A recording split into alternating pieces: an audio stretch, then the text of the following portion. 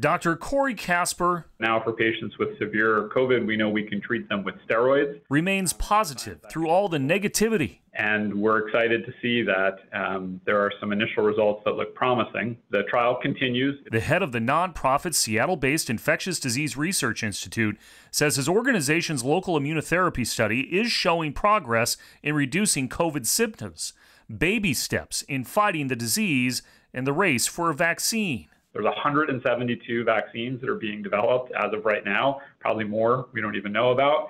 Um, but we think that adding these immune stimulants will be critical. Yet Casper, also a UW clinical professor of global health, says any vaccine will take months to widely produce. And I don't want to be the, you know, the negative Nelly here, but to my eye, when I look at those early phase results, what I see is that those vaccines allow for immune responses that are about equal to people who have recovered from COVID.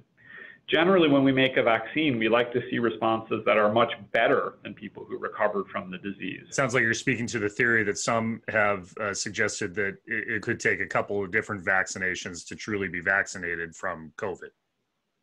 Absolutely. Uh, that's exactly right. He also believes an early 2021 target is not too optimistic of a goal. We've taken a lot of shots on goal. We've had a lot of misses, but you know, I'm a big fan of soccer, and you know, it's like the penalty kicks. So you know, you, you kick a lot of balls in, and you know, the goalie blocks a lot of them out, but you just need a couple of good ones to win the game. In Seattle, Chris Daniels, King Five News.